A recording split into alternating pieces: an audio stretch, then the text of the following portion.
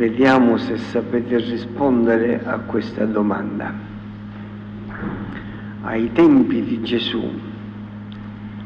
chi erano quelli che comandavano su tutto il territorio dove Gesù abitava,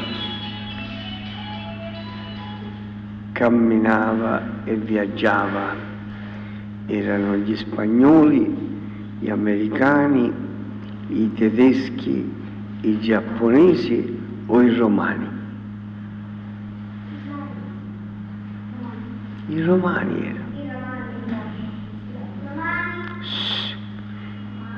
Il Giappone a quel tempo non se ne parlava neanche. Silenzio. L'America ancora non l'avevano scoperto. La Spagna era un territorio lontano ed era pure essa dominata dai romani. Quindi erano i romani, comandavano su tutto e su tutti. E per comandare di che cosa si servivano, che tipo di uomini avevano lo Stato italiano per comandare sulla Sicilia di quali persone si serve. Alcuni ve li dico io, vediamo se altri li sapete dire voi. I prefetti, i sindaci e poi quelli che portano la divisa come si chiamano? La polizia, beh polizia, quelli simili alla polizia che camminano pure loro, i carabinieri, ah, i, carabinieri i finanzieri, queste sono persone che comandano e fanno eseguire tutto quello che lo Stato impone. E allora, mentre gli altri stati ci sono altri che comandano, in Italia invece comanda Roma, come ai tempi di Gesù.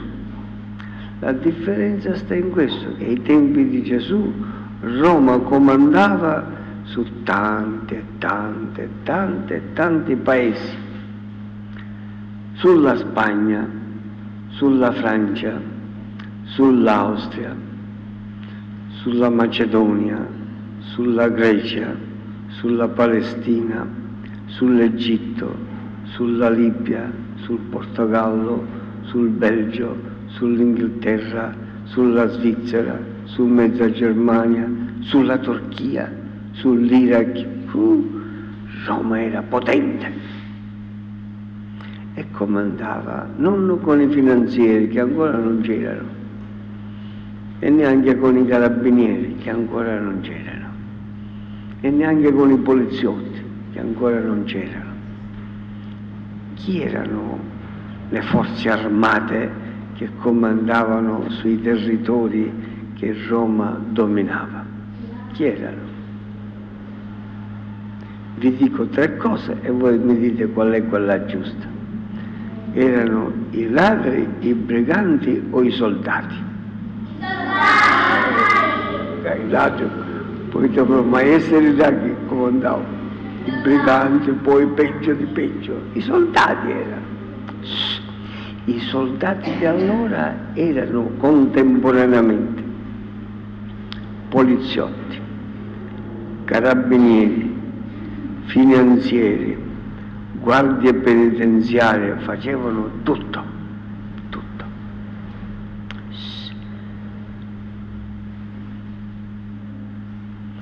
E l'esercito romano era composto di decine e decine di legioni. Una legione era composta da 6.000, 7.000, qualche volta 8.000 soldati, una legione. In Palestina e in Siria c'era, c'erano due legioni quindi c'erano circa 10.000-12.000 soldati. E poi negli altri territori altri soldati. Ogni legione era comandata da un generale che si chiamava Duce. Poi ogni legione era divisa in tanti scomparti che erano comandati dai tribuni, così li chiamavano. E poi c'erano dei comandanti di un gruppo di soldati che si chiamavano centurioni. Secondo voi i centurioni quanti soldati comandavano? Bravissimi, bravissimi, bravissimi, cerite, cento. E poi sotto i centurioni c'erano pure dei comandanti più piccoli, ma avevano pure il loro potere, che si chiamavano decurioni. I decurioni, secondo voi, quanti soldati comandavano? Bravi, dieci. Oh. Quello di cui oggi parla il Vangelo era un centurione, comandava cento soldati. Poverino aveva un problema serio. Si era ammalato uno dei suoi servi. A quel tempo, quando una persona era importante, i centurioni erano persone importanti. Erano più importanti di quanto può essere importante un maresciallo in un paese. Avevano naturalmente i loro servi uno di questi si ammalò. Si vede che il centurione c'era molto affezionato. Quando si ammalò si vede che non era una malattia piccola piccola tipo un'influenza, una, una malattia grave. E allora, poverino, che cosa fece il centurione? Aveva, lui non è che era ebreo e credeva nel Dio degli ebrei, Vediamo se qualcuno di voi mi sa dire se gli ebrei e i romani avevano la stessa religione oppure una religione diversa. Diversa era, diversa perché gli ebrei adoravano un solo Dio, uguale a quello nostro. Gli ebrei adoravano un solo Dio. Invece i romani adoravano, vediamo se mi sapete dire quanti dei. Sparate, di più, di più. Aveva da essere un centinaio. No, milioni no. Cento, un centinaio, su per giù cento, su per giù cento. Silenzio, ma se, sempre voi dovete parlare, la predica devo fare, voi dovete rispondere dove dovete rispondere. Oh, erano un centinaio di dei. Però, attenzione, c'erano alcuni romani che quando conoscevano degli ebrei si facevano un ragionamento e dicevano ma Dio se esiste uno solo può essere, che esistono tanti dei, uno, l'altro, l'altro, chi comanda? con tutti questi dei che esistono e si convincevano che Dio ce n'era uno solo. Anticamente le mamme ai loro bambini piccoli piccoli, quando erano proprio piccoli che appena sapevano parlare, gli chiedevano, voi due però non dovete parlare tra di voi. Gli chiedevano, quant'è un signoruzzo? E i bambini rispondevano, uno, uno. Il Signore è uno così dice la Bibbia. Il centurione si era lasciato convincere questo centurione che Dio ce n'è uno solo. Aveva sentito dire che Gesù era il figlio di Dio e che operava miracoli e guarigioni. E disse, ma se questo Gesù, che dicono che è figlio di Dio e fa miracoli e guarigioni, non glielo posso andare a dire che il mio servo è malato. Può darsi che viene e guarisce il mio servo. E allora si mise in cammino, lo trovò in mezzo alla strada che stava predicando e gli disse, Signore, ho un servo che è molto malato, lo guarisci? E Gesù disse, ora vengo a casa tua e lo guarisco. Secondo voi il centurione rispose a Gesù, sì, vieni a casa mia, oppure no, come gli disse. La cosa, la cosa più, più giusta sarebbe stato questo, vieni a casa mia. Intanto il centurione, invece di dire sì, vieni, tutto contento, gli disse no, no io non mi sento il cuore pulito e la casa pulita per entrare tu a casa mia, non, non sono degno. Ma siccome tu sei il Signore e fai miracoli pure a distanza, se tu stabilisci che il mio servo deve guarire, pure te qua lo puoi guarire. E Gesù rispose in maniera bella, disse, a quelli che lo ascoltavano, vedete quest'uomo romano ha più fede di tutti voi, perché ha capito che io sono il figlio di Dio e posso guarire pure a distanza. Perché il centurione gli aveva detto, io sono un comandante, comando tanti soldati, se a un soldato dico vieni, il soldato viene. Se a un soldato dico vai, il soldato va. E se al mio servo dico fai questo, il mio servo lo fa. Così anche tu, che sei comandante di cose più importanti, se tu stabilisci che in questo momento il mio servo deve guarire, il mio servo guarirà e Gesù guarì il servo a distanza. Quando poi il centurione tornò verso casa, che c'erano un, bel po' di chilometri di distanza, gli vennero incontro quelli di casa sua e, e gli dissero, sai, il servo è guarito. E il centurione domandò, verso che ora è guarito? Guarito ieri verso quest'ora. Ah, il centurione capì che il servo guarì lo stesso momento in cui Gesù aveva detto va che il tuo servo guarisce. Per farvi capire quanto è importante la potenza di Dio, ora vi racconto un'altra cosa che è successa non ai tempi di Gesù, ma ai tempi di oggi. E io sono un testimone di questo fatto che è successo. Mi trovavo a Rimini. Qualcuno di voi sa dove è Rimini? In quale regione d'Italia sa? La geografia non la studiate, ancora siete piccoli. Allora, no, è un, po' più sopra di Roma. Silenzio, silenzio. Io vi dico tre regioni d'Italia e voi vediamo se mi indovinate in quale regione è Rimini.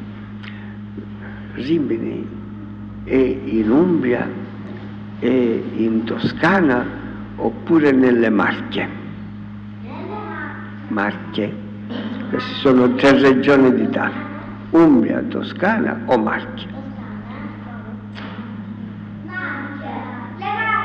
E nelle Marche Rimini, silenzio.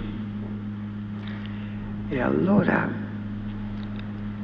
ero a Rimini eravamo nientemeno alla fiera del Mediterraneo e stavamo facendo preghiere.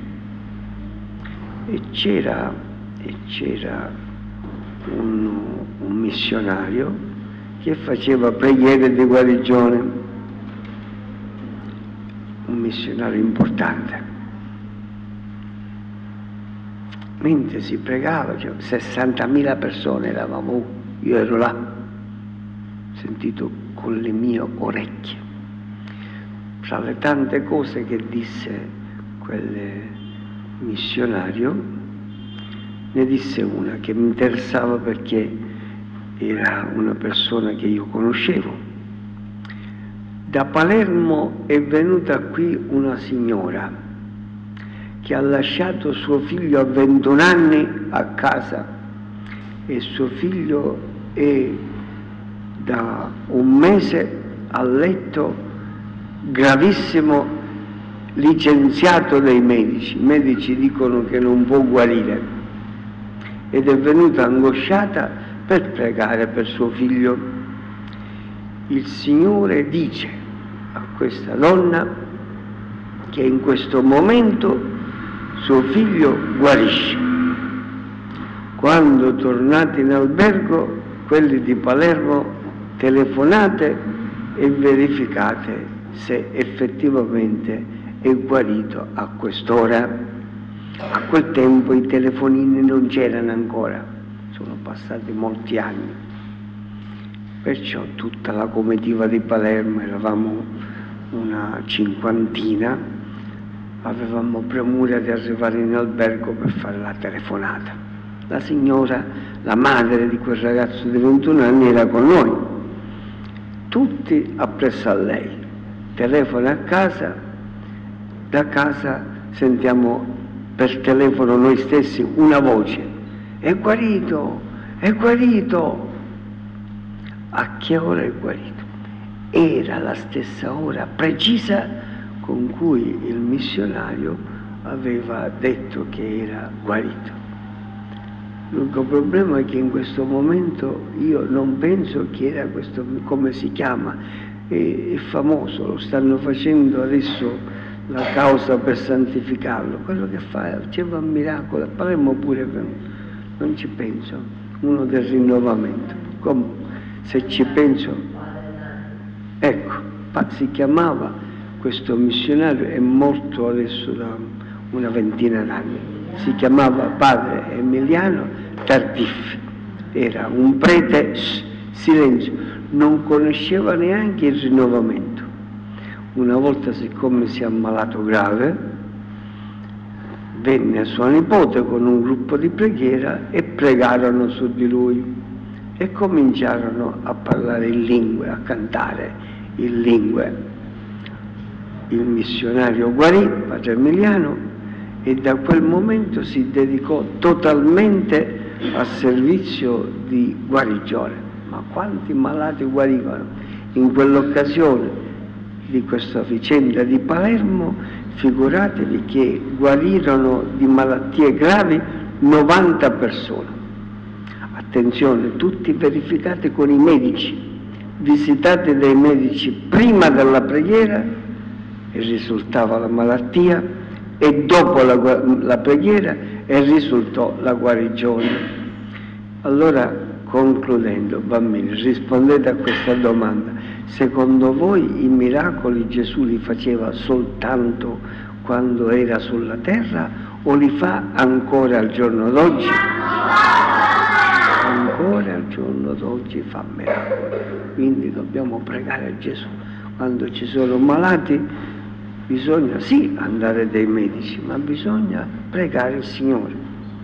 Noi facciamo la preghiera per i malati due volte alla settimana, il giovedì mattina alle nove e mezzo e il venerdì pomeriggio alle nove e mezzo qui giovedì mattina e il venerdì pomeriggio alle quattro alla chiesa di Santa Croce, perciò se capite che avete persone a voi care che sono malate, portateli fate portare devozioni perché anche da noi avvengono guarigioni. È vero Sandra? Pure Sandra lo dice, che avvengono pure... Come? E gira qua e lo racconti tu avanti. In caso ce l'hai acceso le cose nell'aria. Allora, allora lo devi dire. Quando siamo stati nella Madonna del Sì. A Peggialia. che c'era suo nipote, un ragazzo di 18 anni, che è stato operato al cervello con tutto tumore. Non c'era nulla da fare. E abbiamo pregato, Padre Giacomo lo mise in preghiera mentre eravamo là. Ora stamattina la ragazza, la vicina di casa mi chiama, dice signora, dice signora, dice tutto pulito. Io mi sono messa a piangere, pensavo lei... È stata una cosa bella. Una cosa bellissima, un ragazzo di 18 anni, per adesso si trova a Cefalù in riabilitazione. Ecco, preghiamo il Signore, che il Signore, lei, lei ha le preghiere di tutti che c'entra. Oh, lei ha citato un caso, ma ne potremmo citare tanti altri, perché il Signore continua a fare miracoli, però dobbiamo fare fede, avere fede, frequentare la Chiesa, fare la comunione, partecipare alle preghiere, così il Signore ci aiuta meglio